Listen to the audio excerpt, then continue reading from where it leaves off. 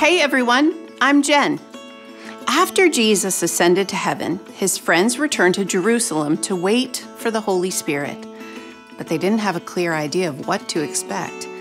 Jesus had promised to be with them always, and then he left. They just couldn't wrap their minds around what was supposed to happen next. For 10 days, they waited. Then, early one morning, as the believers met to pray, something incredible happened. First, a sound like rising wind filled the room. Do you hear that? Sounds like a storm coming. But the trees outside aren't even moving, not even a breeze. Wait, what's this? Flames glowing appeared, hovering in the air. Then, as the Jesus followers watched in wonder, the fire separated into tongues of flame resting over each head. All of them were filled with God's Spirit. This must be what Jesus meant when he said we were going to be baptized by the Holy Spirit.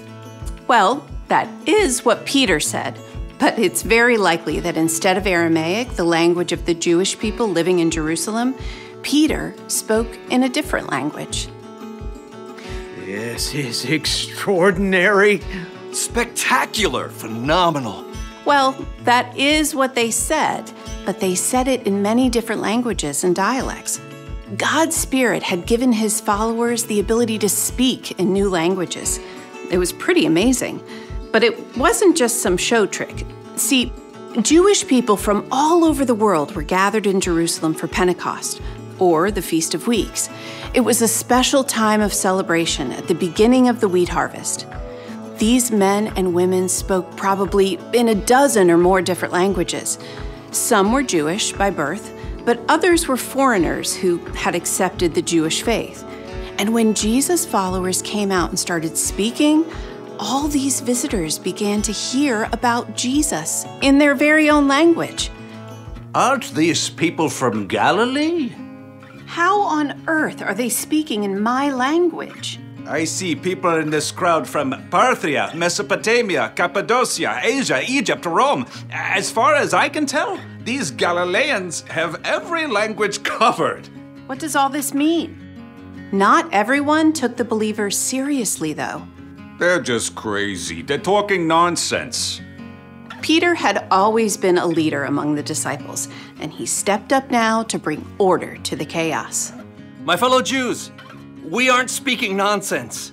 The prophet Joel wrote, In the last days, God says, I will pour out my Holy Spirit on all people. Peter went on to explain the entire story of Jesus. Jesus of Nazareth was a man who had God's approval.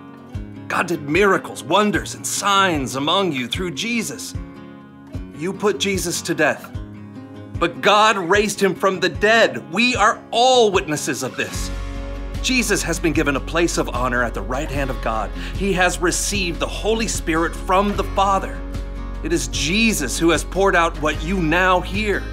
God has made him both Lord and Messiah. These words had a deep effect on many in the crowd. What should we do? All of you must turn away from your sins and be baptized in the name of Jesus Christ. Then your sins will be forgiven.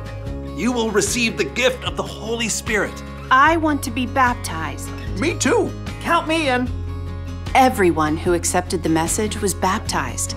That day, about 3,000 people joined the believers. The end.